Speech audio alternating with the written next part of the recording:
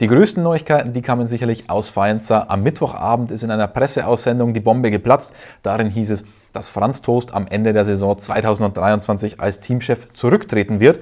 Das sind natürlich wahre Breaking News. Franz Toast ist seit 18 Jahren Teamchef in Faenza, muss man sagen. Zunächst der Scuderia Toro Rosso, jetzt der Scuderia Alpha Tauri.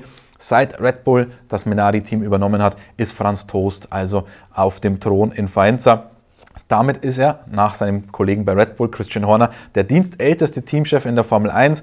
Und wir haben uns in der Redaktion mal die Mühe gemacht und haben das in Amtszeiten des ehemaligen Ferrari-Teamchefs Marco Mattiacci umgerechnet. Insgesamt ist Franz Toast seit 33 Mattiaccis im Amt. Damit findet am Ende der Saison also ein wahrer Paradigmenwechsel in Faenza statt. Er hat Ehren geprägt, er hat Erfolge gefeiert. Sicherlich 2008 der erste Sieg des Rennstalls und der erste Sieg von Sebastian Vettel. Wir alle erinnern uns an dieses Rennen in Monza und an gleicher Stelle im Jahr 2020 nochmal ein Sieg der Scuderia Alpha Tauri dann schon mit Pierre Gasly. Das waren sicherlich die Meilensteine, die Höhepunkte. Abgesehen davon natürlich, dass Franz Toast viele großartige Fahrer ausbilden konnte bei Toro Rosso und Alpha Tauri. Wir erinnern uns natürlich vor allem an die mehrfachen Weltmeister Sebastian Vettel und Max Verstappen. Alle sind sie durch die Schule von Franz Toast gegangen. Aber man tendierte dazu, sowas immer zu glorifizieren. In letzter Zeit lief es nicht mehr so besonders gut. In der abgelaufenen Saison ist Alpha Tauri in der Konstrukteurs-WM nur auf Platz 9 gelandet. Auch aktuell sieht es nicht besonders gut aus. Man liegt wieder auf Platz 9. Franz Toast hat selbst gesagt, er traut seinen eigenen Ingenieur nicht. Man könnte also sagen, es ist ein guter Zeitpunkt, um aufzuhören. Yuki Tsunoda, der eigene Pilot, hat heute in der Pressekonferenz gesagt, dass ihn das Ganze sehr überrascht hat. Er hat zwar kurz davor erfahren, aber vor fünf Tagen noch war er zusammen mit Franz Toast beim Essen und da hat er sich da noch gar nichts anmerken lassen.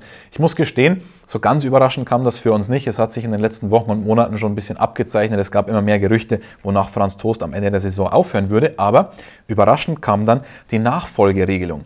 Es wird eine Doppelspitze bei Alpha Tauri geben, das hat man bekannt gegeben, mit Peter Bayer, dem ehemaligen Generalsekretär der FIA. Bis 2022 war er dort im Amt und er wird in dieser Doppelspitze die Position des CEO, also des Geschäftsführers, übernehmen, wird sich um die strategische Ausrichtung von der Scuderia Alpha Tauri kümmern, also hauptsächlich wahrscheinlich die Zusammenarbeit dann mit Red Bull. Man will ja wieder mehr Synergien nutzen. Das Team sitzt nicht nur in Faenza, sondern auch noch in England mit dem Windkanal. Inzwischen nutzt man ja den gleichen wie Red Bull Racing. Also das ist auf jeden Fall die Aufgabe von Peter Bayer.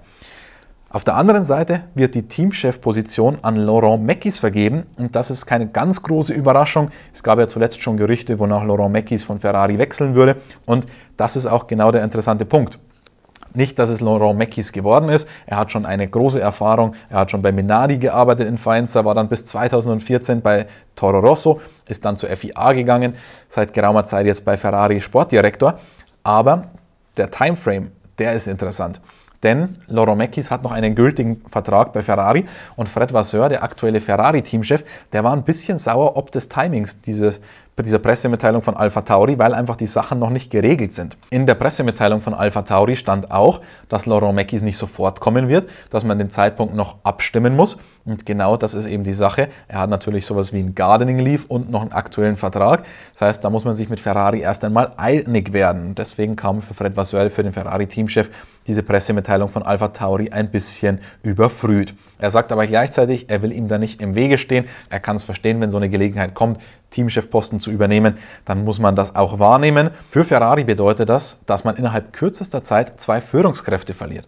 David Sanchez ist erst kürzlich von Ferrari zu McLaren gewechselt oder wird noch bei McLaren anfangen.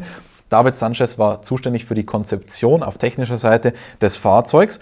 Laurent Meckis, der Sportdirektor, also zwei Führungskräfte. Fred Vasseur spielt das alles runter, sagt, das sind zwei Leute von 1600, das ist nicht so dramatisch, wir wollen kein Team auf Einzelnen aufbauen, sondern auf Gruppen. Deshalb sagt er, das Team wird dadurch nicht geschwächt, sagt gleichzeitig auch, das ist eine Chance, das Ganze umzustrukturieren. Ferrari befindet sich ja generell in einer Neufindungsphase mal wieder und der Posten von Laurent Meckis, der Sportdirektor, soll möglicherweise dann auch auf zwei Schultern verteilt werden, wie es bei anderen Rennstellen so üblich ist.